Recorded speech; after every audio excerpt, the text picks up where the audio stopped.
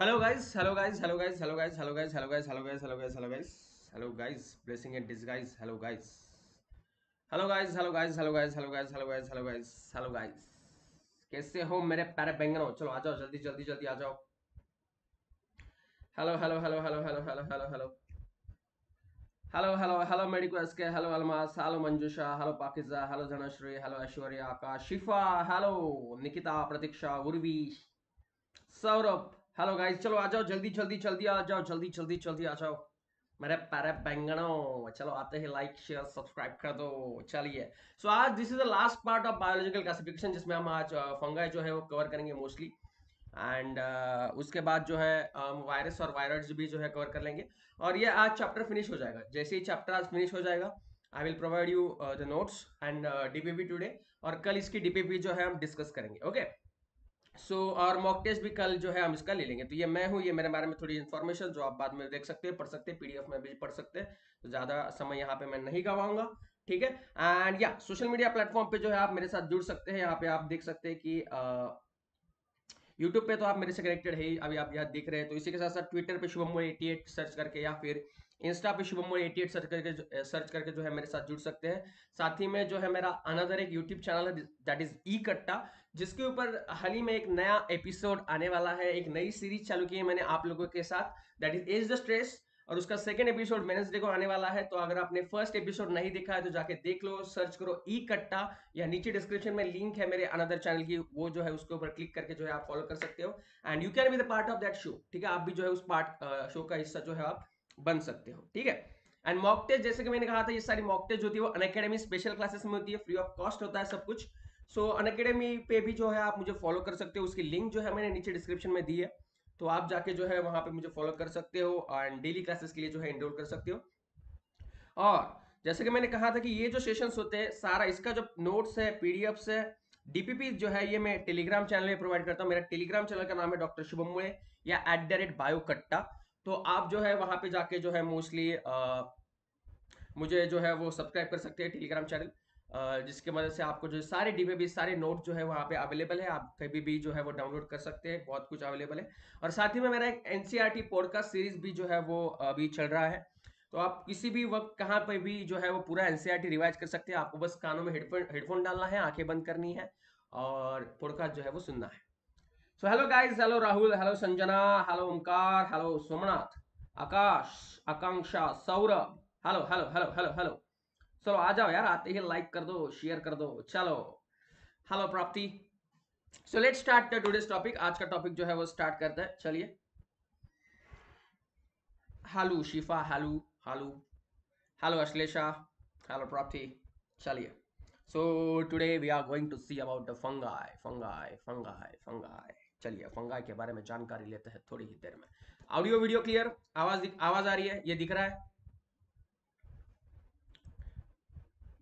ठीक है? So mostly आपने पहले दो सेशन में देखा पहले सेशन में हमने देखा कि डिफरेंट टाइप्स ऑफ़ क्लासिफिकेशन क्या क्या होते हैं क्या क्या अवेलेबल है five kingdom classification system then हमने uh, इसके पहले वाले सेशन में देखा कि प्रोटिस्टा uh, और मोनेरा जो यूनिसेलर मोस्टली जो है वो ग्रुप है देखे गए हैं। And now from the fungi we are going to look towards the multicellular kingdoms और जिसमें सबसे पहले आता है फंगा ठीक है?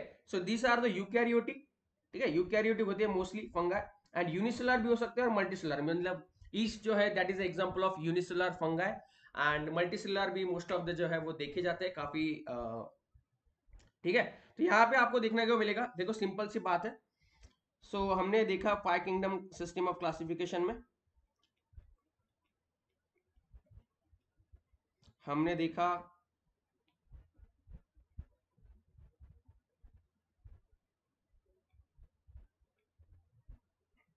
ठीक है?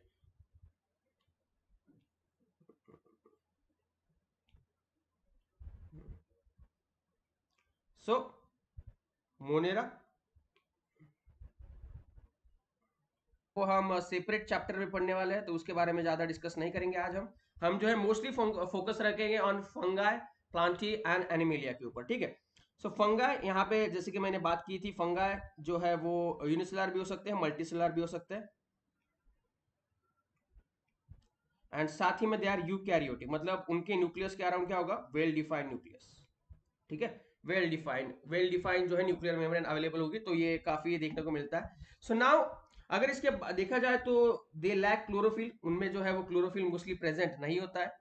ठीक है? They are mostly more closely related to animals than plants मतलब एनिमल के लाइक फीचर मतलब न्यूट्रिशन की बात करें रिप्रोडक्शन की बात करें so they mostly resemble animals ठीक है? वो मतलब जानवर की तरह लगते हैं, जानवरों की तरह।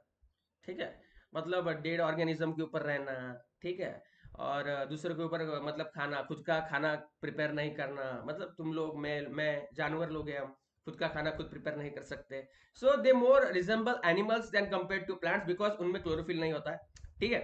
So they have rigid cell wall that is made up of chitin and glucans this is very important MCQ arthropoda में भी हम देखते हैं कि उनका जो एक्जोस्केलेटन होता है वो काइटिन एंड ग्लूकैंस का बना होता है। ठीक है? और यहाँ पे भी इनकी सेल वॉल जो है वो काइटिन एंड ग्लूकैंस का जो है वो बना हुआ होता है। सिंपल सी बात है। ठीक है? सो so, uh, इसीलिए जो है मतलब फंगाई को जो है वो प्लांटी से अलग किया गया था, क्योंकि हमने देखा टू किंगडम क्लासिफिकेशन सिस्टम जब लिनायस ने की थी तो उन्होंने फंगाई को जो है वो प्लांटी में डाल दिया था, ठीक है? क्योंकि उनको सेल वॉल है, उनके अंदर सेल वॉल प्रेजेंट है। लेकिन, ठीक है? लैग हो रहा है?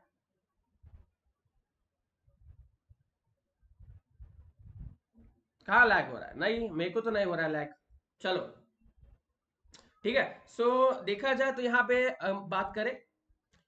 सो so, सेल वॉल की वजह से उनको जो है वो किंगडम प्लांटी में जो है वो अभी नहीं हो रहा है। ओके ठीक है? उनको जो है वो प्लांटी में डाला गया था लेकिन क्लोरोफॉल ना होने की वजह से जो है वो उनको जो है वो अलग कर दिया गया किंगडम प्लांटी से और उनका जो है वो सेपरेट किंगडम जो है वो बनाया गया। मोड ऑफ़ न्यूट्रिशन देखा जाए तो दे आर हेटीरोट्रॉपिक ठीक है? Mostly heterotrophic this is very important MCQ MCQ पूछा जाता है आपको कि fungi are mostly fungi are ठीक है? मोड ऑफ़ न्यूट्रिशन है फंगाई आर तो उसमें आपको पैरासाइटिक सैप्रोफाइटिक और जो है हेटेरोट्रॉपिक दिया जाता है और ऑटोट्रॉपिक दिया जाता है। तो मोस्टली uh, बच्चे जो है कंफ्यूज हो जाते हैं कि भैया सैप्रोफाइटिक होगा या फिर जो है पैरासाइटिक होगा। लेकिन यू विड चूज़ जो है हेटेरोट्रॉपिक क्योंकि हेटेरोट्रॉपिक का ही क्लासिफिकेशन अगर करें तो उसमें ही सैप्रोफाइटिक और पैरासाइटिक जो है वो आ जाते हैं। So they are mostly heterotrophic ठीक है? दूसरे ऑर्गेनिज्म पर जो है वो डिपेंड होते हैं। They use complex organic compounds as a sources of energy and carbon. ठीक है? सो रिप्रोडक्शन देखा जाए तो सेक्सुअल एंड असेक्सुअल दोनों जो है इनमें देखने को मिलता है हमको। मेजोरिटी ऑफ़ फंगा जो है वो स्पोर्स प्रोड्यूस करती है। स्पोर्स के ज़रिए जो है वो uh, करती है। So this is fungi you can watch it here बहुत ब्यूटीफुल डायग्राम है। This are the different types of fungi जो है आप देख सकते हो। ठीक है? यूनिसेलर से लेकर मल्टीसेलर काफ़ी ज़्यादा न्यूट्रिशनल वैरायटी जो है इनमें पाई जाती है। ये ब्रेड मोल्ड के ऊपर जो है आप देखते हैं। ये तो आपने घर घर में देखा है।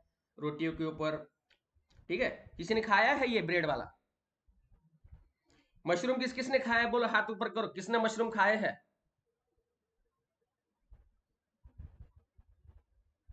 ठीक है, चलो।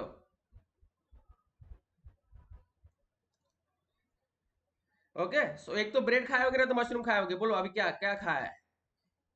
सो नेक्स्ट दैट इज़ इनका अगर बॉडी ऑर्गेनाइजेशन देखें हम ठीक है? So thallus vegetative body of the fungus यहाँ पे पाई जाती है। उनका तो बॉडी जो है वो एकदम सिंपल फ्लैट स्ट्रक्चर होता है। ठीक है?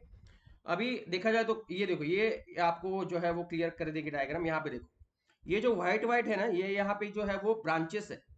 ठीक है? इसको, इस ब्रांचेस को हम क्या कहते हैं? पूरा जो है हम इसको कहेंगे हाइफी ठीक है? दिस आर द हाइफी और ये जो पूरा अभी एक एक सिंगल है ना, ये हाइपी है, ये हाइपी है, ये हाइपी है।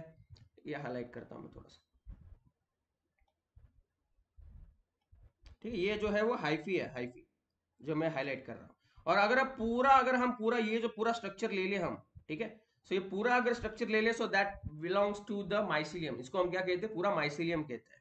तो मतलब अगर आपको मैं ड्रॉ करके दिखाना चाहूँ। हम्म मेरी ड्राइंग वैसे बहुत ही खास है मतलब मैं पिकासो लेवल की ड्राइंग करता हूँ लेकिन आई एम ट्राइंग ठीक है। सो so, यहाँ पे देखो ये एक फिलामेंटस बॉडी है। ठीक है? अभी अभी क्या हो जाता है कि यहाँ पे आप देखोगे कि ये इसको जो है हम क्या कहेंगे, ये जो filamentous long thread like structure है, इसको हम हाइपी कहेंगे, ठीक है? हाइपी अयो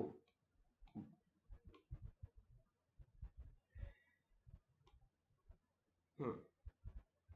अभी इनसे इनसे जो क्या होता है, इनसे ब्रांचेस निकलते हैं तरह तरह जगह पे।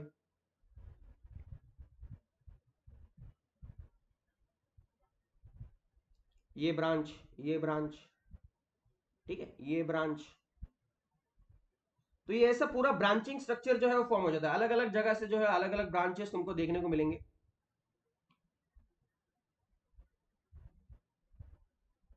ठीक है सो सिंगल जब होता है we called it as a hyphae ठीक है, और अभी ये जो पूरा जो स्ट्रक्चर बन रहा है ठीक है, पूरा जो स्ट्रक्चर बन रहा है ये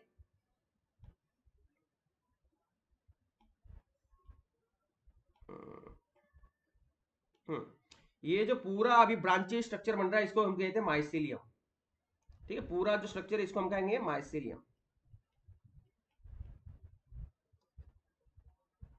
ओके okay, अभी इनमें भी जो है वो अलग अलग टाइप पाया जाता है। ठीक है so vegetative this is thallus like body thallus like organization ठीक है। लॉन्ग ब्रांचिंग फिलामेंटस स्ट्रक्चर जो होता है दैट इज़ फंगस इसको हम हाइफी कहते हैं। This is a vegetative growth growth जो है इनमें देखने को मिलती है हमें।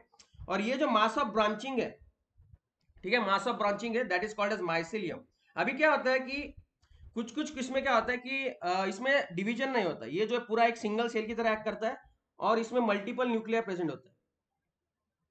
सिंगल सेल की तरह काम करता है और एक ही सेल में देखो मल्टीपल न्यूक्लियर प्रेजेंट होता है। अगर ऐसा स्ट्रक्चर प्रेजेंट है तो इसको हम कहते हैं सीनोसाइटिक हाइपी या कोइनोसाइटिक हाइपी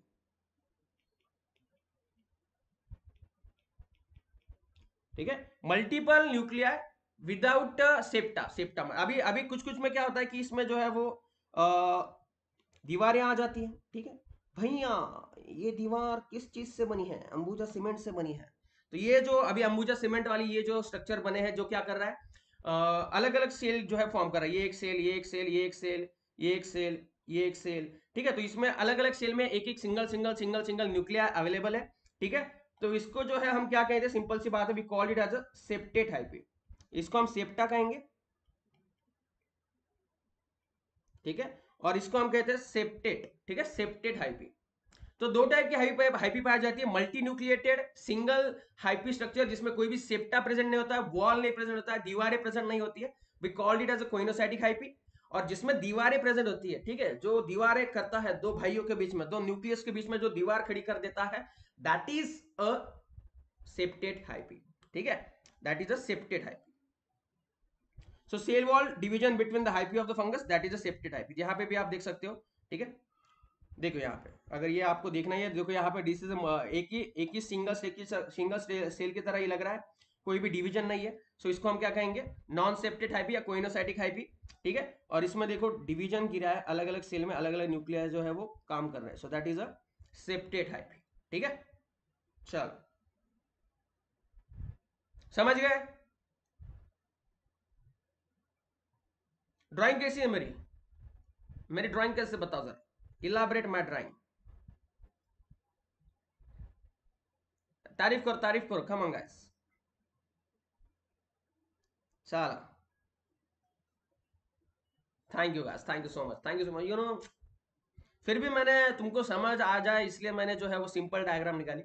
नहीं तो मैं मतलब शेडिंग बीडिंग करके, एकदम हाईलाइट करके, उसको जो है वो एकदम मास्टर पीस बना देते तो उसके ऊपर मतलब लोग जो है वो बिडिंग लगा लेते थे। एक करोड़ एक एक दो, एक करोड़ दो, एक करोड़ तीन, ऐसा मतलब लग जाता। तो मेरे को फिर टीचिंग छोड़ना पड़ता, पैसा आ जाता तो मैं चला जाता युगांडा वगैरह या लास वेगास या इधर तो भी चला जाता। तो इसलिए मैंने जो है वो सिंपल डायग्राम निकाली। नहीं तो डिमांड बहुत है अपने ड्राइंग की। ठीक है, चलिए। ठीक है सो रिप्रोडक्शन देखा जाए तो इनमें रिप्रोडक्शन जो है वो काफ़ी देखो गाइस अभी मुझको मालूम है रिप्रोडक्शन सुनते ही जो है तुम्हें इंटरेस्ट आ जाता है लेकिन देखो फंगाई में जो रिप्रोडक्शन होता है वो ज़्यादा इंटरेस्टिंग नहीं है। सो रिप्रोडक्शन इन फंगा देखा जाए तो बहुत सेक्सुअल एंड असेक्सुअल मीन से जो है होता है मोस्टली बात है ठीक है? ठीक है सो so, uh, दोनों मोड ऑफ़ रिप्रोडक्शन में जो है देखने को मिलता है सेक्सुअल एंड असेक्सुअल दोनों जो है देखने को मिलता है। इसमें रिप्रोडक्शन में भी काफ़ी ज़्यादा डाइवर्सिटी मतलब अलग अलग टाइप के जो है रिप्रोडक्शन इसमें पाए जाते हैं जैसे न्यूट्रिशनल डाइवर्सिटी भी है या नेचर के हिसाब से ये कहीं भी पाई जाती है, वैसे ही रिप्रोडक्शन जो है वो ये देखा जाए तो ये कहीं पे भी पाई जाती है। अभी फंगा बहुत डिमांड में है आजकल white fungus black fungus yellow fungus तो इनका डिमांड बहुत है। अभी इनका दौर आया है। ठीक है, ये काफ़ी दिनों से जो है वो सुप्त पड़े हुए थे एकदम, ऐसे थे, लेकिन अभी कोरोना ने इनको जो है वो स्पॉन्सरशिप दे दी है, कोरोना ने इनको।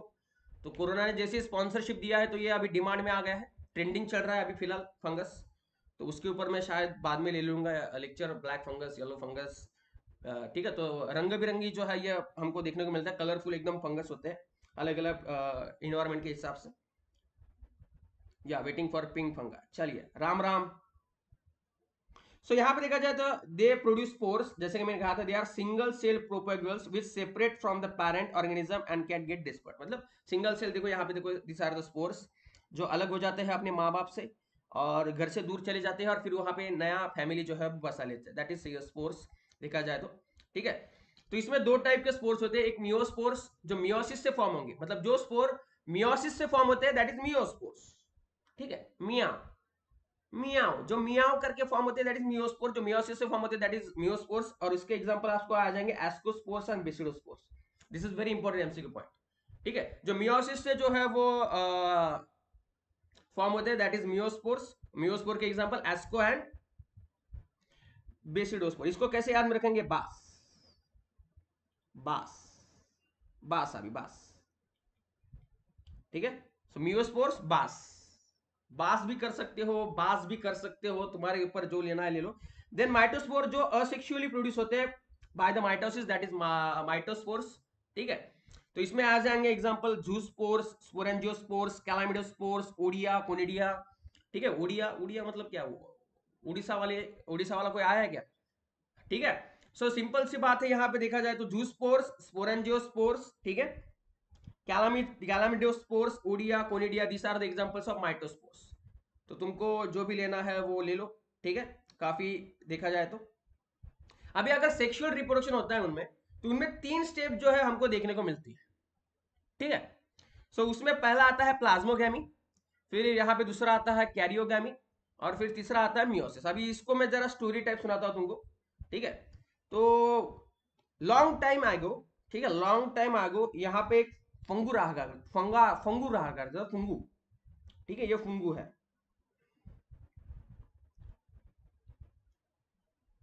ये फंगू है।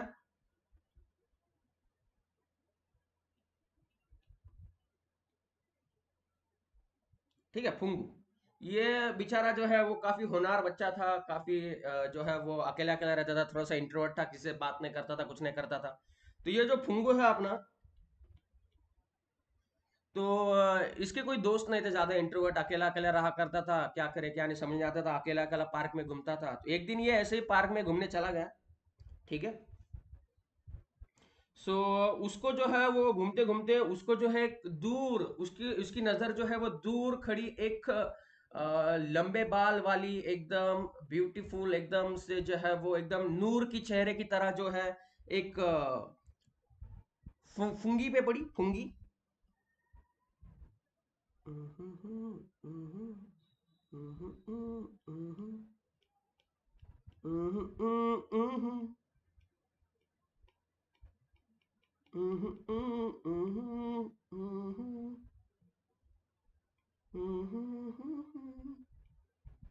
हेलो हैंडसम ठीक है? सो so, देखा जाए तो यहाँ पे ठीक है? फिर यहाँ पे देखा जाए तो जैसे बॉलीवुड में टिपिकल लव स्टोरी होती है यहाँ पे जो है वो वही हुआ ठीक है? इन दोनों ने एक दूसरे को देखा ठीक है? और इन दोनों को पहली नज़र का जो है वो प्यार हो गया ठीक है? लेकिन इनका रास्ता जो है वो किसी भी बॉलीवुड की लव स्टोरी की तरह टिपिकल लव स्टोरी की तरह जो है वो सेम नहीं था। ठीक है? तो ये है फिंगी ये है फुंगू फिंगी और फिंगू ने एक दूसरे की तरफ़ देखा। तो देखा जाए तो फंगी जो फिंगी जो है काफ़ी खूबसूरत थी, थोड़े हायर कैटेगरी से बिलोंग करती थी। लेकिन फंगू अपना बहुत ही नॉर्मल था टकला सा था लोअर कैटेगरी से बिलोंग करता था तो इनका मिलन जो है वो काफ़ी डिफ़िकल्ट था। तो इन्होंने सोचा कि भैया अपन स्टेप बाय स्टेप जाते हैं। ठीक है? स्टेप बाय स्टेप जाते हैं। तो फुंगू ने सबसे पहले और फुंगू जो है वो मतलब फुंगू में ज़्यादा हिम्मत नहीं थी। वो इंटरवर्ट था उसमें हिम्मत नहीं थी कि वो फिंगी के साथ फिंगी को जा, जाके बात करे उसका हाथ पकड़े। तो फिंगी क्या करती है? अपना हाथ बढ़ाती है। फुंगू फुंगू की तरफ़ हाथ बढ़ाती है अपना। ठीक है? फिर फुंगो भी हाथ बढ़ा लेता है। फिर दोनों एक दूसरे का हाथ पकड़ लेते हैं। ठीक है? तो अभी क्या हो रहा है? इनका जो हाइफी है वही एक दूसरे के साथ जो है वो क्या हो रहा है? कंबाइन हो रहे ठीक है, कंबाइन हो रहे सिंपल सी बात है। तो इसमें क्या हो रहा है, सिर्फ़ यहाँ पे क्या हो रहा है, ये जो हाइफी है या ये जो प्लाज्मा है, यही एक दूसरे के साथ जो है मिल रहा है। ठीक है, यही एक दूसरे के साथ जो है मिल रहा है। तो अभी इसको हम क्या कहेंगे we it as a plasmogamy ठीक है प्लाज्मोगैमी अभी सिर्फ़ हाथ मिलाया इन दोनों ने, आगे जाके कुछ किया नहीं है, ठीक है। फिर हलो हलो जो है, फिर धीमे धीमे सेकंड स्टेप में इन्होंने क्या किया? एक दूसरे के साथ एंगेजमेंट कर ली। एक दूसरे के साथ एंगेजमेंट कर ली। इन्होंने इसने इसने जो है अपना रिंग इसको दे दिया। एक मिनट।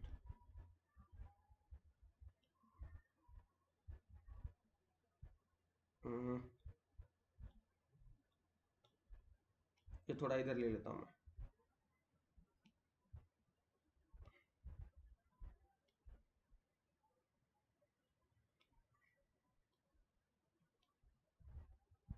अरे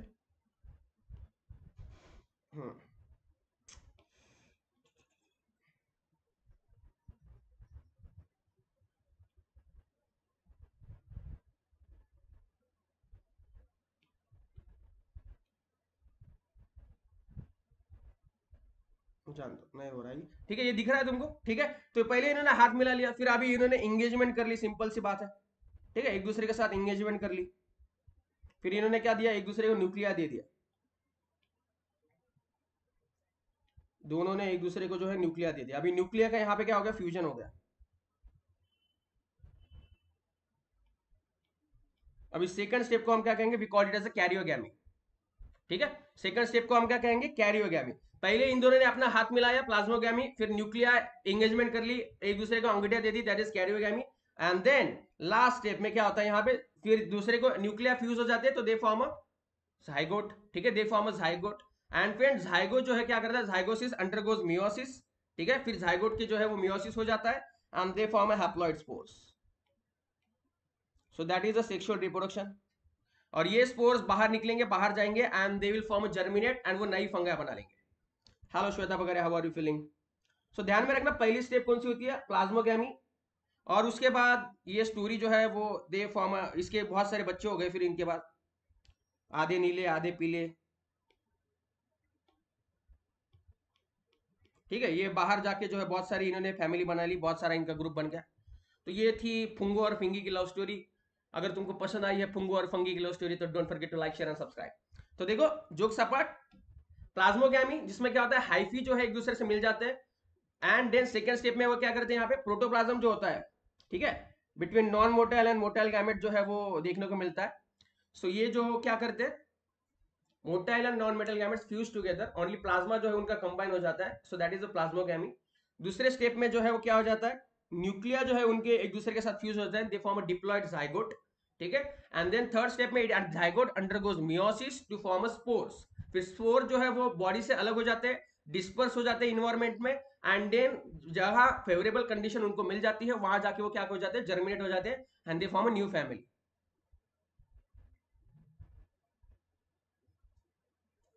मैं कलर ब्लाइंड हाँ थोड़ा बहुत। ठीक है? सो फंगा और फुंगी की लव स्टोरी आगे बढ़ाते हैं, चलिए आगे बढ़ते हैं। नाउ फंगा के डिफरेंट क्लासेस जो है, हमको देखने को मिलते हैं that is phycomycetes ascomycetes basidiomycetes and deuteromycetes ठीक है? तो यहाँ पे डिफरेंट डिफरेंट एग्जांपल जो है दिखे गए आपको। सो फाइकोमाइसेट में आपको देखने को मिलेंगे। Mucor rhizopus mucor rhizopus albugo parasitic fungus and mustard albugo is example of parasitic fungus and mustard mustard then ascomycetes में आपको yeast saccharomyces penicillium aspergillus and neurospora जो है देखने को मिलेंगे। बेसिडोमाइसिस में agaricus you still go to प्यूसेनिया ठीक है? यूस्टील को को हम स्मर्ट बोलते हैं। प्यूसिनिया को हम रस्ट बोलते हैं। सिंपल सी बात है। एंड ड्यूटरमाइसिट्स अल्टरनारिया कोलियोट्राइकम एंड टाइकोडर्मा तो अभी ये एक एक करके डिटेल में हम देखते हैं। सबसे पहले आ जाएँगे फाइकोमाइसिट्स फाइकोमाइसिट्स को जो है हम अलगल फंगा भी बोलते हैं ठीक है we called it as algal fungus, ठीक है? सो यहाँ पे देखने को मिल जाए तो माइसिलियम कैसा होता है? असेप्टेड एंड कोइनोसाइटिक यही एक एग्ज़ाम्पल है जिसमें कोइनोसाइटिक और असेप्टेड आपको माइसिलियम देखने को मिलेगा। और इसी के ऊपर ज़्यादा एमसीक्यू आता है कि असेप्टेड कोइनोसाइटिक माइसिलियम जिसमें देखने को मिलता है? तो 100 परसेंट जो है मोस्टली तुम फाइकोमाइसिट की तरफ़ जाओगे। यहाँ पे असेक्शियो स्पोर्स आपको जूस स्पोर्स मिलेंगे अपलानो स्पोर्स मिलेंगे कैलामिडो स्पोर्स मिलेंगे, स्पोरेंजियो स्पोर्स मिलेंगे।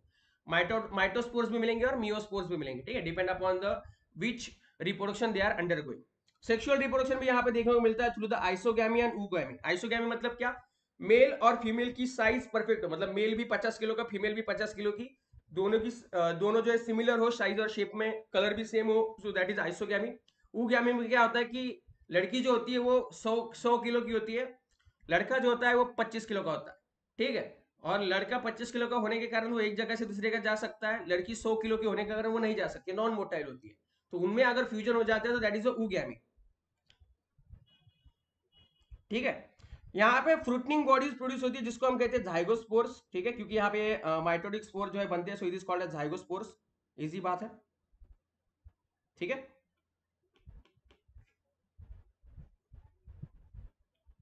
झाइगोस्पोर जो है हमको देखने को मिलेंगे। और इसके एग्ज़ाम्पल आते हैं म्यूकर राइजोपस एंड अल्ब्यूगो ठीक है? म्यूकर राइजोपस एंड अल्ब्यूगो तो ये ध्यान में रखना, ये काफ़ी इंपॉर्टेंट चीज़ है। इसके ऊपर काफ़ी ज़्यादा जो है वो एमसीक्यू पूछे जाते हैं। तो इसको कैसे याद में रखोगे आप? सिंपल सी बात है, इसको याद रखने के लिए आपको क्या करना है? राम। ठीक है? राम। म्यूकर ठीक है? राइजोपस आर से आ जाएगा म्यूकर ठीक है? और इसके बाद आ जाएगा राम। तो ये ध्यान में रखना, ये तीनों चीज़ें जो है मोस्टली पूछे जाती है। देन नेक्स्ट एस्कोमाइसिस देखो यहाँ पे एस्कोमाइसिस की beautiful diagram it is also called as sac fungi ठीक है? इसको हम क्या कहते हैं? We called it as a sac fungi also ये ध्यान में रखना it is called as sac fungi algal fungi phycomycetes it is called as sac fungi mycelium देखो यहाँ पे सेप्टेट और ब्रांच है. डिफरेंस आ गया सिंपल सी बात है. बोलो अनन्या। यहाँ पे असेक्सुअल रिप्रोडक्शन होता है through the conidiospores and budding budding मतलब क्या? यहाँ पे ये ईस्ट है. इसके ऊपर एक बर्ड आ जाएगा बाहर और बर्ड जैसे ही आएगा, ठीक है? ये बड़ा हो जाएगा तो ये सेपरेट हो जाएगा and they form new so that is budding यहाँ पे जो है असेक्सुअल रिप्रोडक्शन देखने को मिलता है। कोनिडियोस्पोर्स यहाँ पे होते हैं। यहाँ पे आइसोगैमस और अनआइसोगैमस देखने को मिलता है। मेल फीमेल की शेप और साइज़ अलग भी हो सकती है सेम भी हो सकता है। और यहाँ पे एस्कोस्कार्स फॉर्म्ड इन एस्कस इंडोजेनेसली अभी ये काफ़ी कंफ्यूजन वाला पार्ट है। ये तुमको समझाना है guys what is ascospores endogenously कैसे फॉर्म होता है? ठीक है? सो so, यहाँ पे देखो क्या हो जाता है जब भी यहाँ पे जो है वो अनफेवरेबल uh, कंडीशन आ जाती है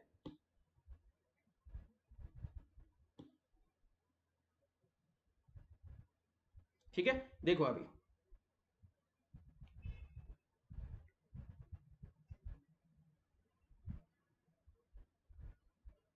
ठीक है ये एक फंगा है। अभी ये क्या कर लीजिए जब भी अनफेवरेबल कंडीशन आती है ये एक बॉडी फॉर्म कर गाइस ठीक है? ये ऐसी एक बॉडी फॉर्म कर लेती है। सिंपल सी बात है। अभी यहाँ पे क्या हो जाता है? हम्म।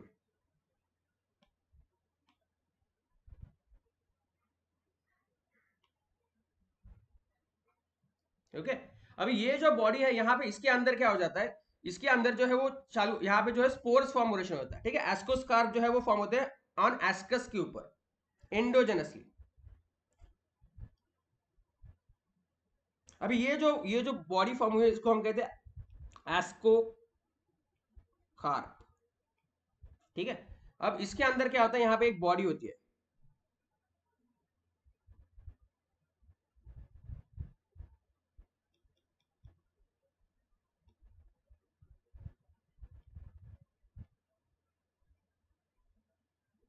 इसको हम कहते हैं एस्कस ठीक है? और इस एस्कस के अंदर जो है वो क्या तैयार होते हैं? स्पोर्स तैयार होते हैं। जिसको हम कहते हैं एस्कोस्पोर्स अब ये एस्कस के अंदर प्रिपेयर हो रहे हैं, इसलिए हम इसको क्या कहेंगे? इंडोजेनसली फॉर्म हो रहे हैं। समझ गए? ठीक है, इसको हम कहेंगे एस्कोस्पोर्स ये काफ़ी इंटरेस्टिंग चीज़ है, ठीक है? अभी इसमें और अभी इसमें क्या होता है? आगे जब आप बेसिडोमाइसिस दिखेंगे, इसमें भी देखो आप देखो इसमें फ्रूटनिंग बॉडी जो होती है, वो देखो यहाँ पे बेसिडो कार्प होती है। ठीक है? और यहाँ पे आपको देखने को मिला यहाँ पे जो स्पोर्स प्रोड्यूस होते हैं, आगे देखेंगे हम तो ये कैसे होते हैं? एक्जोजेनसली प्रोड्यूस होते हैं बेसिडो स्पोर्स अभी इसमें क्या होता है, देखो अभी, ये ये किसकी बात कर रहे हैं हम? एस्को कार्प अभी बेसिडो स्पोर्स में क्या होता है? ये मैं दिखाता हूँ आपको।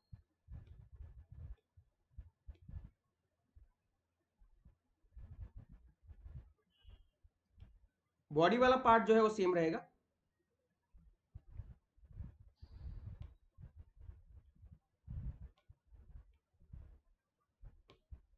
ठीक है? अभी इसको क्या बोलेंगे हम? बेसिडो कार्ब बोलेंगे, ठीक है? बेसिडो कार्ब बोलेंगे, सिमिलर। ओके? अभी इसके अंदर जो है, वो बॉडी होगी, उसको हम कहेंगे बेसिडा। बेसिडियम कहेंगे या बेसिडा कहेंगे? अभी यहाँ पे क्या कहा गया है कि यहाँ पे जो बॉडी तैयार होती है, वो एक्सोजेनियसली प्रोड्यूस होती है थ्रू द मियोसिस। मतलब एक से चार, और ये कैसी होंगी? इसके बाहर होंगी गाइस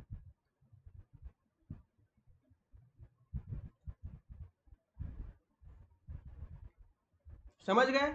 और इसको हम कहेंगे basidiospores.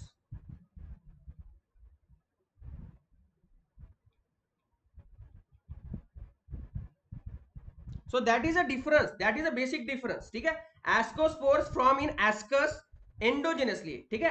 एस्कोस्पोर जो है वो एस्कस के अंदर फॉर्म होते हैं एंडोजिनसली ठीक है? और ये जो बॉडी है, इसको हम कहेंगे एस्कोकार और यहाँ पे आप देखोगे बेसिडोमाइसिट्स में बेसिडोस्पोर जो फॉर्म होते हैं, ठीक है? They are formed on steric matter ठीक है? स्टेरिक मैटर है उसको हम बेसिडियम कहते हैं, ठीक है? एक्सोजिनसली और ये जो फ्रूटनिंग बॉडी है, इसको हम कहेंगे बेसिडोकार समझ गए? क्लियर हो गया?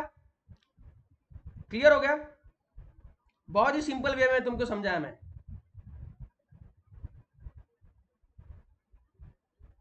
समझ गए क्या? हाँ या ना? समझ गए तो लाइक दोगो।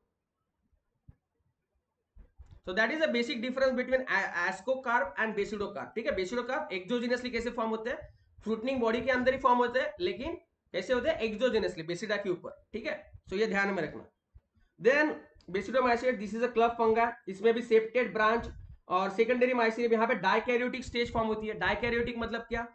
यहाँ पे आप देखोगे एक ही सेल है, जिसके अंदर जो है वो फ्यूजन हुआ है, दो प्लाज्मा सेल का, दो हाइफी का, और उसके अंदर जो है हमको जो है एक ही सेल के अंदर दो न्यूक्लियर फॉर्म होते हैं। So that is a dikaryotic stage जो इसके यहाँ पे देखने को मिलती है हमको, ठीक है? इसके एग्जाम्पल्स आ जाएँगे। Agaricus you still go to प्यूसेनिया ठीक है? ये मोस्टली एनसीआरटी के एग्ज़ाम्पल जो है आपको ध्यान में रखना है। देन ड्यूटेरोमाइसिट्स यहाँ पे देखेंगे तो this is a fungus imperfect है इसमें जो है सेप्टेड ब्रांच होता है, देखो यहाँ पे, सिर्फ़ फाइकोमाइसिट जो है अलगल फंगा जो है, उसमें कोइनोसाइटिक फंगा है कोइनोसाइटिक हाइफे है। बाकी आप देखो, हमने बेसिडोमाइसिस देखा, हमने एस्कोमाइसिट देखा, हमने ड्यूटेरोमाइसिट देखा। सब में जो है हमको क्या देखने को मिला है? सिंपल सी बात है सेप्टेड एंड ब्रांच हैपी देखने को मिला है। यहाँ पे असेक्सुअल रिप्रोडक्शन होता है थ्रू द कोनिडियोस्पोर्स यहाँ पे देखो। मतलब ये जो मेन बॉडी है प्लांट की और यहाँ पे बाहर जो है वो स्पोर्स फॉर्म होते हैं। So that is the conidiospores ठीक है, ये कोनिडियो फोर के ऊपर जो है वो फॉर्म होते हैं that is conidiospores sexual reproduction यहाँ पे एब्सेंट और नॉन नॉट प्रेजेंट होता है। इसीलिए इसको जो है वो इम्परफेक्ट है कहा जाता है। अगर यहाँ पे किसी भी ग्रुप में अगर सेक्सुअल रिप्रोडक्शन फाइंड आउट हो गया इन फ्यूचर तो उसको जो है यहाँ से निकाल के दूसरे ग्रुप्स में डाल दिया जाएगा। ठीक है? तो this is very important MCQ point deuteromycetes are fungus imperfect है, क्योंकि उसमें अब तक सेक्सुअल रिप्रोडक्शन जो है वो फाइंड आउट नहीं किया गया है। ओके चलो। फ्रूटनिंग बॉडीज इसमें अपसेंट होती है, इसके एग्ज़ाम्पल आ जाएँगे। अल्टरनारिया ट्राइकोडर्मा कुलियोट्राइकम ठीक है? अल्टरनारिया ट्राइकोडर्मा एंड कुलियोट्राइकम चलिए। फिर इसके बाद सिम्बायोटिक फंगस जो है हमको देखने को मिलती है in association with the algae as a lichens ठीक है? And roots of higher plant that is mycorrhizae मतलब कुछ कुछ फंगाई जो होती है वो इन सिम्बायोटिक एसोसिएशन हमको मिलती है। तुम मुझे खून दो, मैं तुम्हें आज़ादी दूँगा। तुम मुझे जो है, मैं तुमको पढ़ाता हूँ, तुम मुझे लाइक और सब्सक्राइब करो। ठीक है? ये म्यूचुअल रिलेशनशिप है अपनी। ठीक है? मैं तुम्हारे लिए वीडियोस बनाता हूँ, तुम जो है वो चैनल को शेयर करो। दैट इज़ अ न्यू तरीका ऑफ़ प्रमोशन एग्ज़ाम्पल के ज़रिए प्रमोशन करना। ठीक है? जैसे कि शुभम मोए तुमको बहुत अच्छा पढ़ाते हैं। तो तुम्हारा काम है उनको चैनल जो है वो सेपरेट करना, ठीक है? तुम्हारा काम है उनको सब्सक्राइब करना लाइक करना। तुम मुझे जो है नॉलेज दो, तुम, नहीं, मैं तुम्हें नॉलेज दूँगा, तुम मुझे लाइक शेयर सब्सक्राइब करो। सो ठीक है? सो अगर वो लाइकेन के साथ एसोसिएट हो जाते हैं फंगाई प्लस लाइकेन्स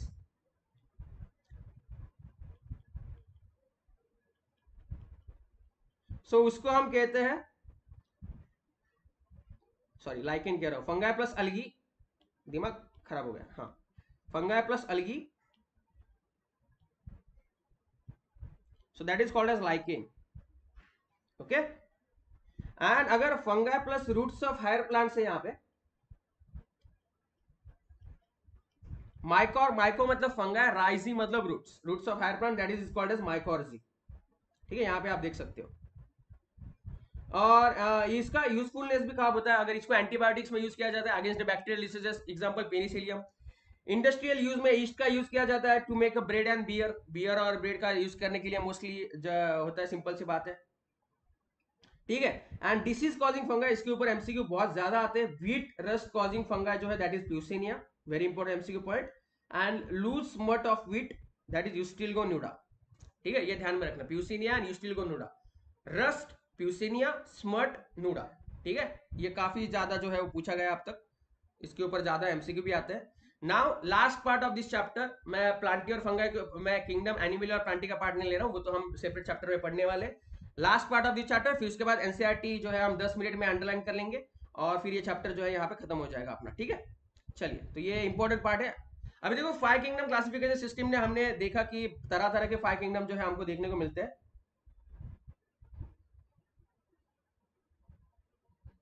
ठीक है? सो फाइव किंगडम क्लासिफिकेशन में हमने देखा कि हमको जो है पाँच ग्रुप देखने को मिले। ठीक है? That is monera protista fungi plantae animalia लेकिन इनमें आप देखोगे तो इनमें किसी भी तरह में, किसी में भी वायरॉइड्स वायरसेस लाइकेंस इनका ज़िक्र नहीं है। ठीक है? इनको जो है वो किसी भी किंगडम में क्लासिफाई नहीं किया गया है। So this are the exception to the five kingdom system of classification ठीक है? वो जो है क्या है? एक्सेप्शन है। सो so, चलिए थोड़ा डिटेल में बढ़ते हैं। अभी वायरस का थोड़ा माहौल चल रहा है। इनका भी अभी जो है ये अभी अब जा रहे हैं स्टॉक मार्केट में। इनका भी जो है वो काफ़ी ज़्यादा शेयर जो है मार्केट जो है इनका ऊपर जा रहा है। डिमांड में है अभी भी ये। सो वायरसेस वायराइड्स और lichens are not placed under Whittaker five kingdom classification system ठीक है? Why because virus and viroids are the acellular entities ठीक है? इसमें ये सिलुलर स्ट्रक्चर नहीं होता है। वायरसेस को आप देखोगे तो it is a link between living and non living ये जब होस्ट के अंदर जाता है, तभी ये लिविंग हो जाता है। अगर ये होस्ट के बाहर आ जाता है तो ये नॉन लिविंग की तरह काम करता है। So that's why they are called as obligate parasites ठीक है? वायरसेस को ऑब्लिगेट पैरासाइट्स क्यों कहा जाता है? क्योंकि वो होस्ट के बॉडी के अंदर ही ज़िंदा होते हैं। होस्ट के बॉडी के बाहर ये मर जाते हैं।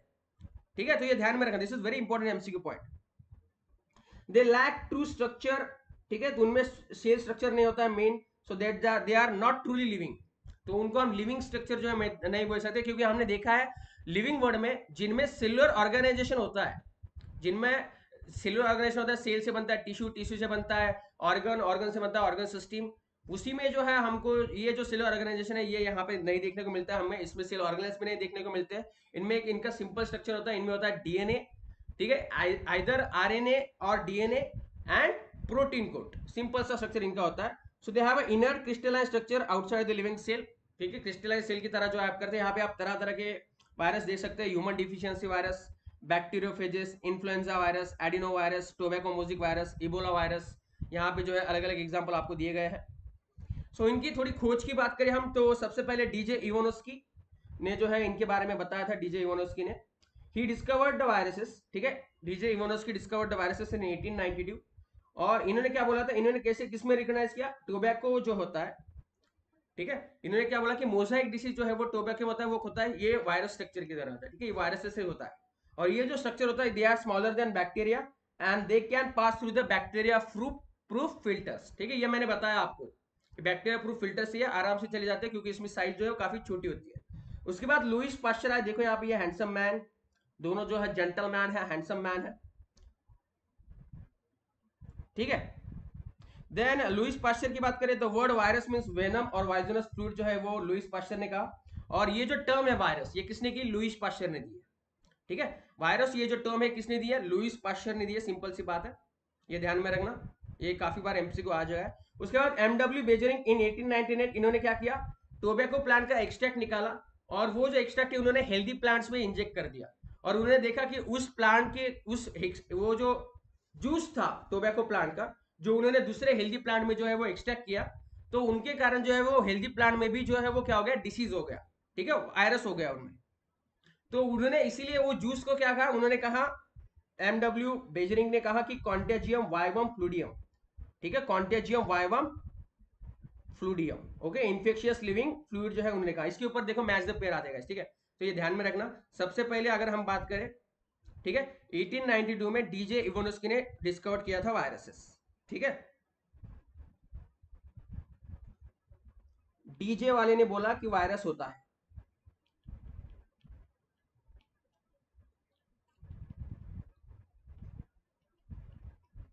डिस्कवर्ड ठीक है? टी टोबैको में जो है इन्होंने डिस्कवर किया। ठीक है? उसके बाद कौन आए लुइस पाश्चर आए और इन्होंने क्या बोला? वेनम और पॉइजनस फ्लूड इन्होंने टर्म निकाली virus term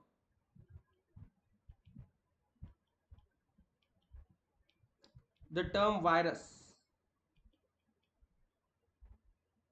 ठीक है? और इसका मतलब क्या होता है? सिंपल सी बात है। वेनम और पॉइजनस फ्लूड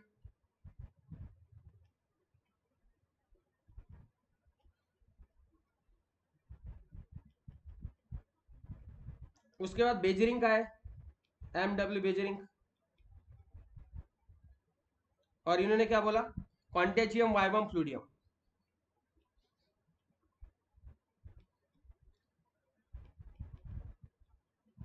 इंफेक्शियस फ्लूड ठीक है? And then M W Stanley आए 1935 में। और एम डब्ल्यू स्टैंडली ने क्या बोला कि वायरस कुड बी क्रिस्टलाइज ठीक है? उनका जो स्ट्रक्चर है वो क्या हो सकता है? क्रिस्टलाइज हो सकता है। ठीक है? तो ये ध्यान में रखना, काफ़ी इसके ऊपर मैच द पेयर वाला एमसीक्यू आ सकता है नीट में, ठीक है? तो ये सारे scientist M W Beijerinck contagium vivum fluidum infectious living fluid Stanley ने क्या किया? एक्सट्रैक्ट किया वो, ठीक है? उनका क्रिस्टलाइज प्रोटीन स्ट्रक्चर निकाला। सबसे पहले वायरस जो है वो खोजा किसने? डीजे इवानोस्की ने। लुइस पास्चर ने उसको नाम दिया वायरस वेनम और poisonous fluid M W Beijerinck ने उसको क्या किया? क्वांटेजियम वाइवम फ्लूडियम तो ये ध्यान में रखना, इसके ऊपर काफ़ी ज़्यादा एमसीक्यू जो है आ सकते हैं। तो अगर स्ट्रक्चर ऑफ़ वायरस की बात करें हम गाइस तो यहाँ पे देख सकते हो इनमें जो है बाहर का लेयर जो होता है वो प्रोटीनियस लेयर होता है। इसके ऊपर स्पाइक्स भी प्रेजेंट सकते हैं जैसे हम कोरोना वायरस में दिखते हैं, ठीक है? इसलिए कोरोना को जो है कोरोना वायरस कहा जाता है कि इनका क्राउन किंग के क्राउन की जरा जो है उनका, उनके ऊपर स्पाइक्स होते हैं। इनके अंदर आइधर डीएनए हो सकता है या आरएनए हो सकता है जेनेटिक मटेरियल ठीक है? जेनेटिक मटेरियल हो सकता है। तो ये जो एक सिंपल स्ट्रक्चर जो है वो वायरस का किसी भी वायरस में आपको देखने को मिल सकता है, ठीक है? ये ध्यान में रखना। ठीक है so viruses are made up of nucleic acid and proteins तो इसलिए हम इसको बोलते हैं, they are made up of nucleoproteins ठीक है, they are made up of nucleoproteins nucleic acid उनका डीएनए हो सकता है या आरएनए भी हो सकता है, लेकिन नेवर बोथ। इसमें एक्सेप्शन है एनसीआरटी में दिया गया है कि एक तो डीएनए हो सकता है, या तो आरएनए हो सकता है, लेकिन इसको एक्सेप्शन है। कौन सा वायरस? एनीवन नोस कौन सा वायरस?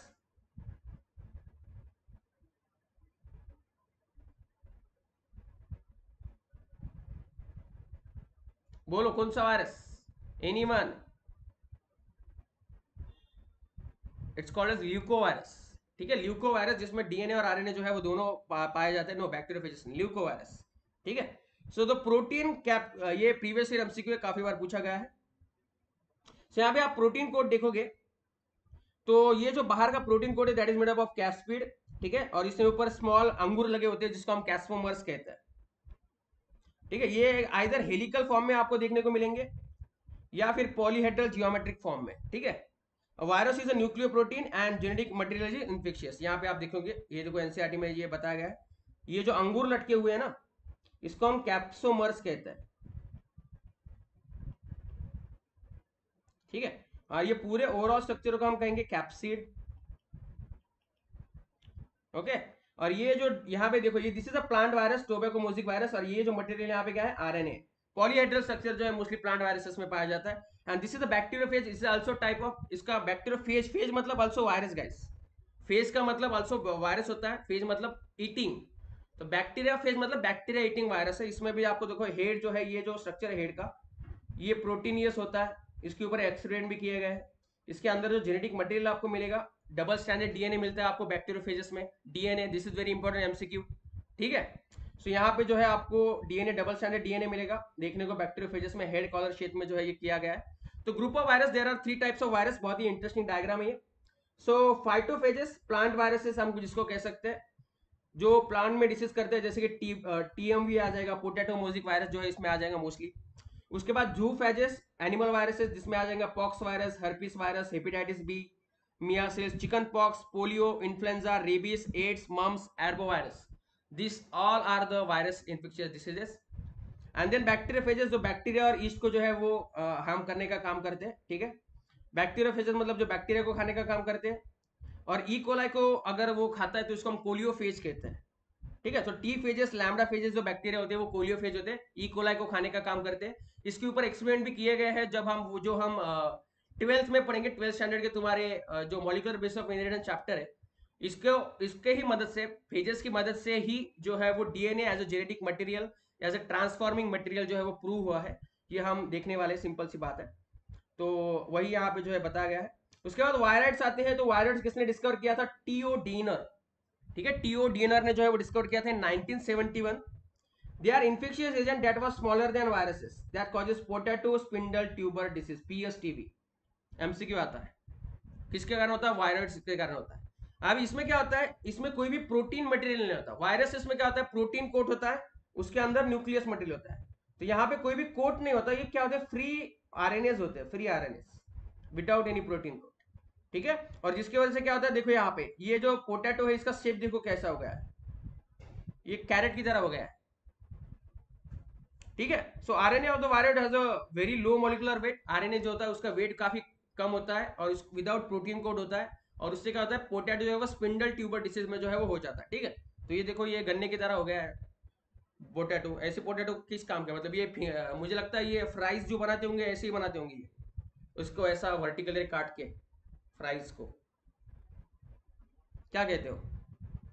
उसके बाद लाइकेंस जैसे कि हमने कहा था कि एल्गियर फंगा के बीच में एसोसिएशन होता है ठीक है? अलगल कंपोनेंट को यहाँ पे हम फाइकोबाइनन कहते हैं जो क्या करता है? फोटोसिंथेसिस की मदद से खुद खुद का फ़ूड बनाता है एंड फंगल कंपोनेंट को हम माइकोबाइनन कहते हैं। इसके अलग अलग टाइप्स होते हैं लेकिन वो सिलेबस में नहीं है। क्रस्टियोज लाइकेंस होते हैं फॉलियोज लाइकेंस होते हैं तो वो पढ़ने की हमको ज़रूरत नहीं है।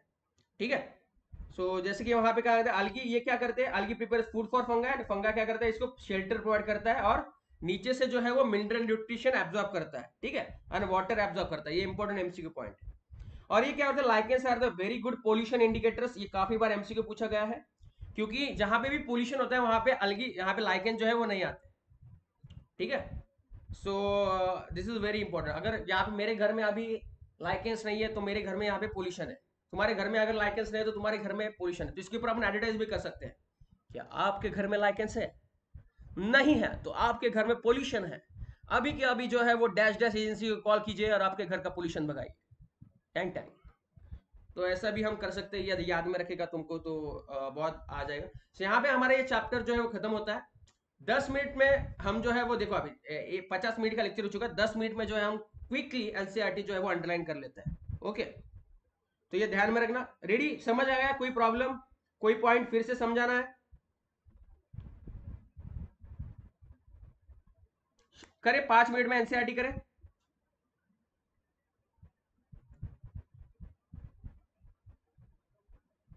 चलिए। So fungi constitute kingdom of heterotrophic organism जैसे कि मैंने कहा था हेटेरोट्रॉपिक ऑर्गेनिज्म इसमें जो है आ जाएँगे, ठीक है? And they show great diversity in morphology and habitat this is very important MCQ point guys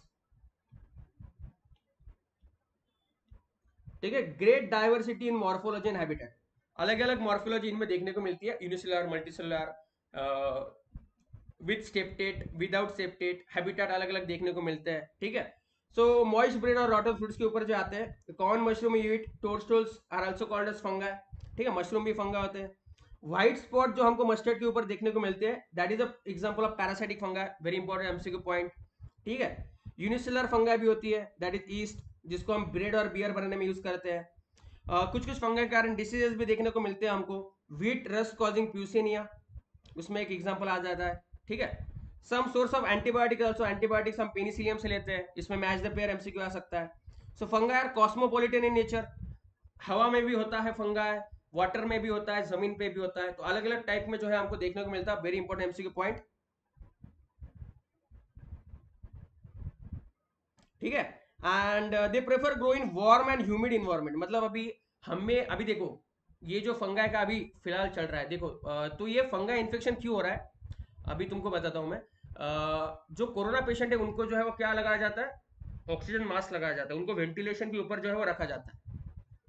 तो वो जो वेंटिलेशन के ऊपर जो ये होता है, ठीक है इन्वायरमेंट होता है, और वो एक ही जगह भी पड़े होते हैं, और ये वेंटिलेशन करके आता है, ये जो नेजल नॉस्ट्रिल है, या ये जो एरिया है पूरा, मुँह का, वो जो होता है, वो कैसा होता है? ह्यूमिड होता है, ठीक है मॉइस्ट होता है मॉइस्ट ठीक है, पूरा मतलब गीला गीला होता है, और ह्यूमिड इन्वायरमेंट होता है।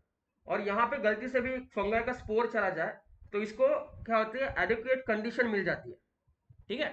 तो इसको जो है वो फेवरेबल कंडीशन मिल जाती है वार्म एंड ह्यूमिड प्लेस जो है मिल जाती है। और इसी के कारण जो है वो क्या हो जाता है, फैल जाता है। ठीक है? सो वेंटिलेशन या फिर मास्क ठीक है? जो मास्क पहनते हो तो पसीना आ जाता है ना? ज़्यादा देर तक मास्क नहीं पहन सकते। आप ज़्यादा देर तक मास्क पहनते तो यहाँ पे पसीना आ जाता है। मॉइस्ट इन्वायरमेंट होता है वार्म खुद की तुम्हारी सांस जो तुम लेते हो, हा हा करके देखो कभी। हा हा हा। ठीक है? हा हा हा। तो ये हा हा करोगे तो यहाँ पे तुम्हारी जो एयर होती है वो वार्म एयर होती है।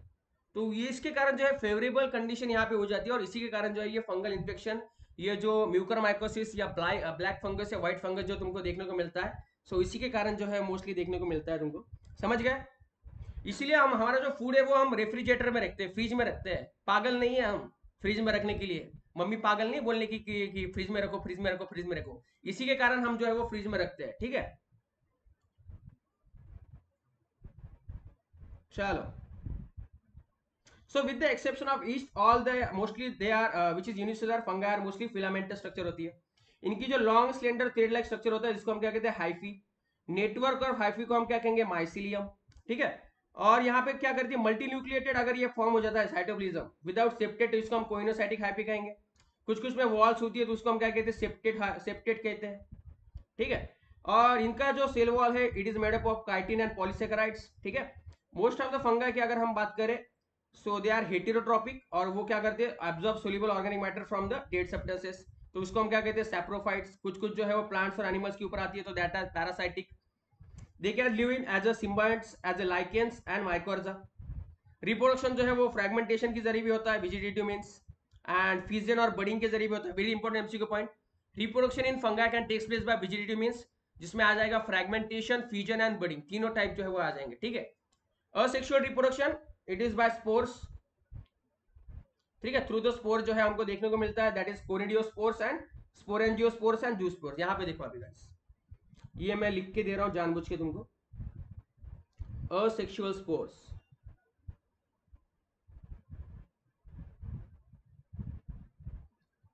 इसमें देखो क्या क्या आता है? Conidia sporangiospores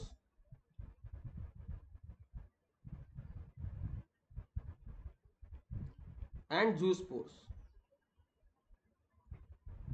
okay and sexual में देखो अभी क्या क्या है sexual oospores ascospores and basidiospore जिसका हमने देखा है। ठीक है? तो बाओ करोगे आप तो बाओ। बाऊ करोगे आप तो वो सेक्सुअल आ जाएगा बाऊ ठीक है? एंड यहाँ पे आप करोगे तो जुकोस ठीक है? जुकोस। तो इसमें ये आ जाएगा ठीक है? जुकोस। जू से आ जाएगा जूस्पोर को से आ जाएगा कोनेडिया एस से आ जाएगा स्पोरेंजियोस्पोर जुकोस ठीक है? बाऊ जुकोस। बाऊ मतलब सेक्सुअल ठीक है? एंड uh, यहाँ पे जो है असेक्सुअल में कोनेडिया स्पोरेंजियोस्पोर जूस्पोर इसके ऊपर एमसीक्यू आ सकता है ये ध्यान में रखना। सो वेरियस टाइप जो है यहाँ पे आपको देखने को मिलेंगे। सो so, सबसे पहले यहाँ पे तीन स्टेप होते हैं। Fusion of protoplasm with two motile और non motile gamete that is plasmogamy फिर कैरियोगैमी एंड देन मियोसिस जिससे हैप्लॉइड स्पोर जो है वो फॉर्म हो जाता है। ठीक है? सो so, अगर सेक्सुअली रिप्रोड्यूस होता है तो यहाँ पे कंपेटेबल मेटिंग हाइट होना चाहिए। ठीक है? फुंगो और फंगा का मिलन जो है होना चाहिए सिंपल सी बात है। और इन सब fungi fusion of two haploid cells immediately results in diploid cells ठीक है? मतलब डिप्लॉइड सेल फॉर्म हो जाती है। लेकिन किसमें क्या आता है? पहले प्लाज्मोगैमी हो जाता है न्यूक्लियस फ्यूज नहीं होते। तो एक ही सेल में दो न्यूक्लियर वाली कंडीशन यहाँ पे फॉर्म हो जाती है। सो so, उसको हम डाइक्योरेटिक स्टेज कहते हैं या डाइक्योरो फ़ेज़ कहते हैं। ठीक है? फिर बाद में जो ये फ्यूज हो जाते हैं दे फॉर्म डिप्लॉइड सेल तो यहाँ पे आप देखोगे तो fungi fruiting bodies which reduction होता है। फिर बाद में हाइगोस्पोर फॉर्म होगा तो रिडक्शन होगा क्योंकि मल्टीपल स्पोर जो है फॉर्म करने पड़ेंगे। ठीक है? तो ये ध्यान में रखना। Morphology of mycelium, mode of spore formation, fruiting bodies to form a basis of division and kingdom of various classes. इसके ऊपर एमसीक्यू आता है कि फंगाई को किस बेसिस के ऊपर क्लासिफाई किया गया? Spore formation fruiting bodies and ठीक है? Spore formation and fruiting bodies are the basis of type of mycelium are the basis of classification of fungi सबसे पहले फाइकोमाइसिट्स ये रैपिड करते हैं। ठीक है? They are mostly found in aquatic habitats important MCQ point decaying wood और moist damp places में देखने को मिलते हैं। ऑब्लिगेट पैरासाइट भी देखने को मिलते हैं। इनमें जो माइसिलियम होता है वो कैसा होता है? असेप्टेट असेप्टेट होता है कोइनोसाइटिक होता है। वेरी इंपॉर्टेंट एमसीक्यू पॉइंट एक ही इसका एग्जांपल है। असेक्सुअल रिप्रोडक्शन यहाँ पे zoospores motile spores aplanospores are non motile very important MCQ point zoospores are the motile aplanospores are non motile ठीक है? These spores are endogenously form ये मैंने बताया तुमको स्पोरेंजियो में फॉर्म होते हैं। ठीक है? जाइगोस्पोर कैसे बनता है? फ्यूजन ऑफ़ टू स्पोर्स या टू गैमेट्स के कारण। और अगर वो सिमिलर इन मॉर्फोलॉजी है तो आइसोगैमस अगर डिसिमिलर है तो अनआइसोगैमस गैमस हो सकते हैं। एग्जांपल इसमें Mucor Rhizopus Rhizopus is a bread mould bread के ऊपर जो आता है, उसको हम राइजोपस कहते हैं। Albugo is a parasitic fungi on mustard तो ये ध्यान में रखना। ठीक है? ये यहीं पे जो है, वो एग्ज़ाम्पल दिए गए हमको। दिस इज़ अ म्यूकर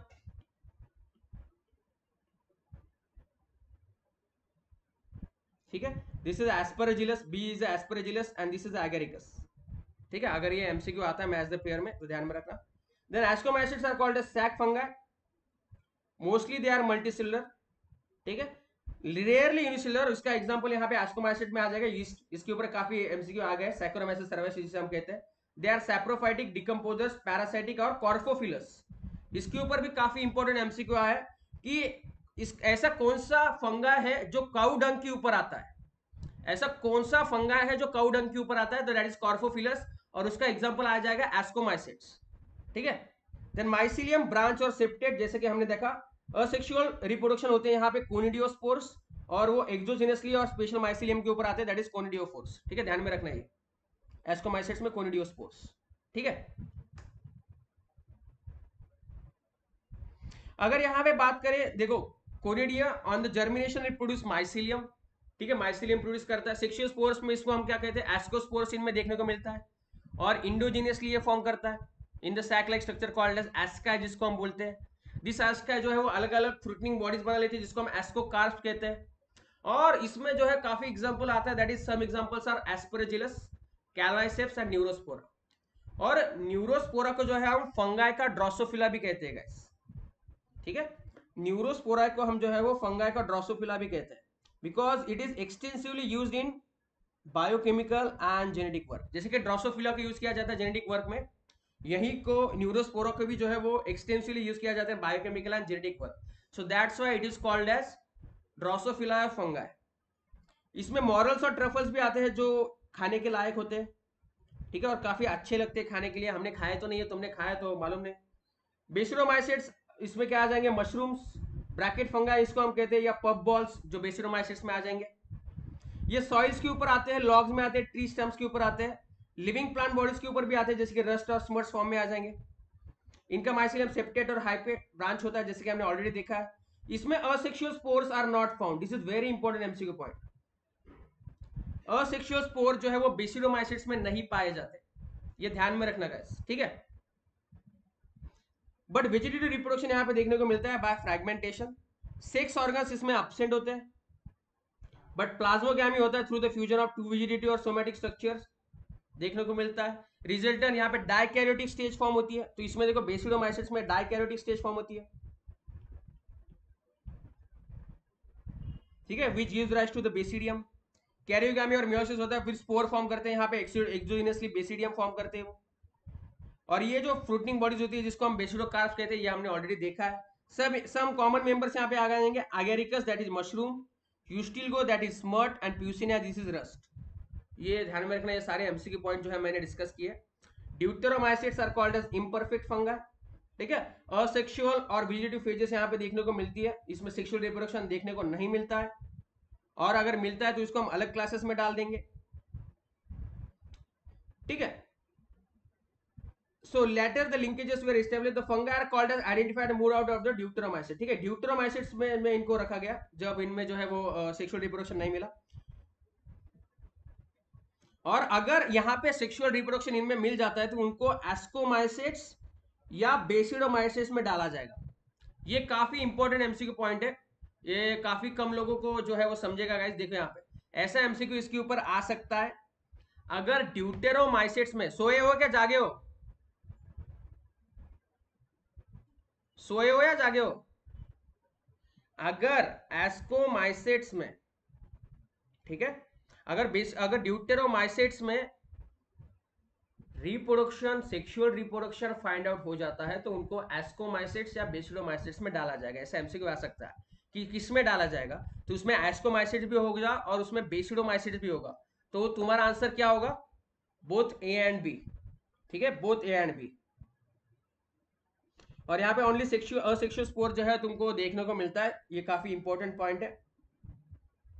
ठीक है? And their large number of them are litters ठीक है? मिनरल्स रिसाइकलिंग में हेल्प करते हैं deuteromycetes large number of them are litters okay some example Alternaria Colletotrichum and Trichoderma kingdom Plantae जो है, हम जानेंगे इसके बारे में। यार यूकैरियोटिक क्लोरोफिल कंटेनिंग मेंबर्स होते हैं। हेटेरोट्रॉपिक कुछ कुछ होते हैं, जैसे कि इंसेक्टिवरस प्लांट्स ठीक है? जैसे कि ब्लैडर वर्ट आ जाएगा वेनस फ्लाई ट्रैप आ जाएगा are the examples of insectivorous plants Cuscuta is a parasite ठीक है? इसके ऊपर एमसीक्यू आते हैं गाइस इसमें क्लोरोप्लास्ट होता है सिल्वॉल सिल्वर से बना होता है, ये हम जो है वो आगे के चैप्टर में देखने वाले हैं. साथ ही में इसमें अल्टरनेशन ऑफ़ जेंडरस हमको देखने को मिलता है, ठीक है? गैमेटोफाइटिक और सेप्रोफाइटिक स्टेजेस में इनको मुझे जनरेशन देखता है. एनिमल हेटेरोट्रॉपिक ऑर्गेनिजम्स होते हैं मल्टीसेलर होते हैं सिल्वॉल इसमें प्रेजेंट नहीं होता है, ठीक है? तो ये देखने को, ये भी हम देखने वाले हैं एनिमल में। इनमें जो स्टोर फ़ूड होता है, वो ग्लाइकोजन होता है और फैट होता है। Mode of nutrition is holozoic ठीक है? होलोजोइक मतलब इंजेक्शन ऑफ़ फ़ूड होता है। फ़ूड जो हम खाते हैं, वो डाइजेस्ट होता है डाइजेस्टिव कैविटी और बाहर डाला जाता है। तो जो हम खाते हैं, ठीक है, मुँह से खाते हैं और एनएस से बाहर निकालते हैं that is holozoic ingestion of food बाहर नहीं करते हो। They food they follow definite growth pattern and growth in different size shape इसमें न्यूरो मोटर मैकेनिज्म जो है देखने को मिलता है। सब में मोस्टली लोकोमोशन होता है सेक्सुअल रिप्रोडक्शन बाय पॉपुलेशन होता है। ये इसका डिटेल हम बाद में देखने वाले हैं। ठीक है? Then viruses viroids kingdom Whittaker's ने जो है वो लाइकेंस का मेंशन नहीं किया है। वायराइट्स वायराइट्स का जो है किंगडम में मेंशन नहीं किया है। और सम कॉमन इफेक्ट्स अगर हम देखें कोल्ड और फ्लू के जो वो वायरसेस के कारण होता है। ठीक है? तो viruses did not find in classification system they are not considered as a truly living ठीक है, जैसे कि मैंने बात है कि बॉडी के बाहर जो होते हैं वो नॉन लिविंग होते हैं बॉडी के अंदर जो होते हैं वो जो लिविंग होते हैं। So this are the non cellular structure इसमें कोई भी सिलुलर स्ट्रक्चर नहीं पाया जाता, ठीक है? और इनर क्रिस्टलाइन स्ट्रक्चर जो है वो आउटसाइड द सेल इनमें देखने को मिलता है। अगर इन्होंने इन्फेक्ट कर लिया तो ये क्या करते हैं? होस्ट के सेल का ही यूज़ करते हैं और खुद को रिप्लीकेट करते हैं। मतलब जिस थाली में छेद करेंगे, उसी जिस थाली में खाएँगे, उसी में छेद करेंगे, ठीक है? और वो होस्ट को मार देते हैं। सिंपल सी बात। है so the they are the virus ये जो नेम है वेनस और पॉइजनस फ्लूड जो है that is given by Dmitri Ivanowsky की 1892 में, ये ऑलरेडी देखा है हमने, ठीक है? जो टोबैको मोजिक वायरस में जो है, ये इन्फेक्ट करने का काम कर रहा था सिंपल सी बात है।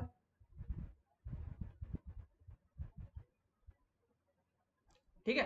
And this were found to be smaller than bacteria because they pass through the bacteria food filters ठीक है? बैक्टीरिया फ़ूड फ़िल्टर से जो है, ये फ़िल्टर हो गए थे। फिर बाद में एमडब्ल्यू बेंजरिंग के 1898 में extract of the infected plants लिया और उसको दूसरे को जो है चुबाया तो हेल्दी प्लांट्स में भी ये डिसीज आ गया। इसलिए एमडब्ल्यू बेजनिक ने इसमें कॉन्टेजियम वाइवम फ्लूडियम कहा इसको?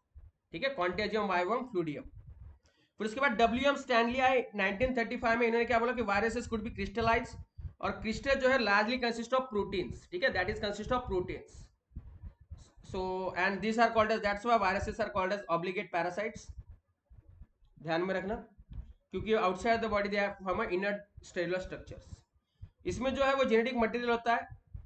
ये डीएनए भी हो सकता है, या आरएनए भी हो सकता है but never both important MCQ point except leucoviruses ठीक है it's a nuclear protein structure nuclear protein का बना होता है। जेनेटिक मटेरियल इसका इन्फेक्शियस होता है, जो इन्फेक्ट करता है ऑर्गेनिज्म को। प्लांट वायरसेस की अगर बात करें तो प्लांट्स में सिंगल स्टैंडर्ड आरएनए होता है ध्यान में रखना, ये एमसीक्यू पॉइंट ठीक है? एंड एनिमल्स में आइदर सिंगल और डबल स्टैंडर्ड आरएनए हो सकता है या डबल स्टैंडर्ड डीएनए भी हो सकता है, दोनों हो सकता है।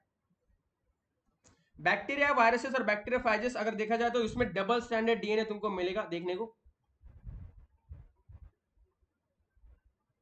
ठीक है, अब प्रोटीन कोट इसमें प्रेजेंट होता है दैट इज़ कैस्पिड और इसमें जो है तरह तरह के कैस्मोस्मोर अंगूर लगे होते हैं दैट इज़ कैप्सोमर्स जो प्रोटेक्ट करने का काम करते हैं।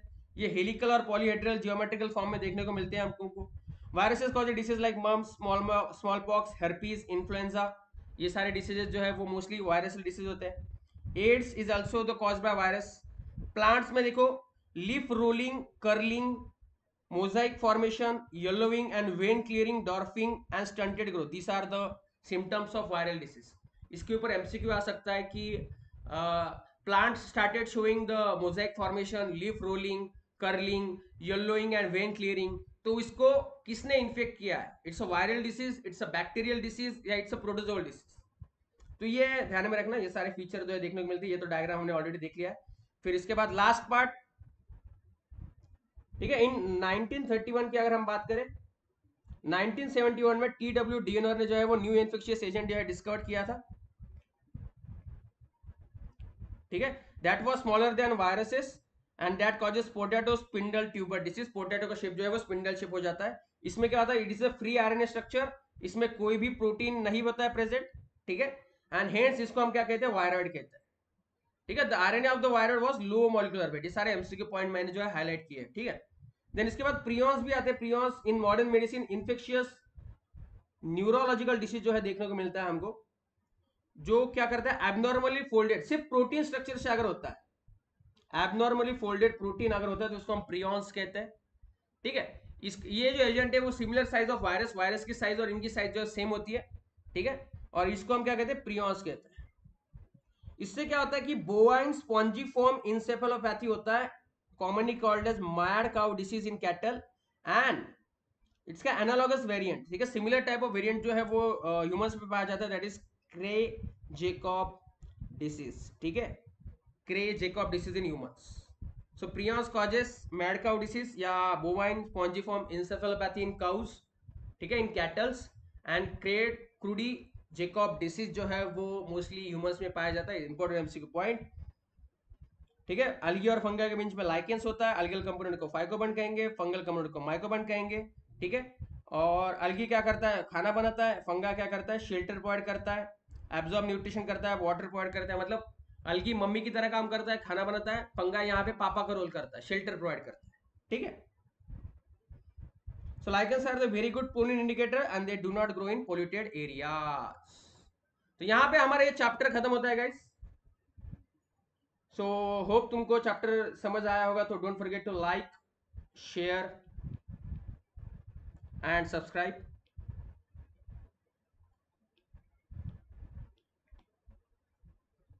okay so don't forget to like जिन्होंने लाइक नहीं किया लाइक करो शेयर करो सब्सक्राइब करो। Uh, थोड़ा दस मिनट ज़्यादा हो गया लेक्चर लेकिन पूरा चैप्टर हमारा खत्म हो गया। ये इसके जो नोट्स है मैं दे दूँगा तुमको ठीक है? एंड इसके डीपीपी भी आज दे दूँगा तो कल हम इसका डीपीपी सेशन करेंगे और कल और परसों इसके ऊपर मॉक टेस्ट होंगे अन अकेडमी के ऊपर। तो नोट्स देख लेना चैप्टर रिवाइज कर लेना ठीक है?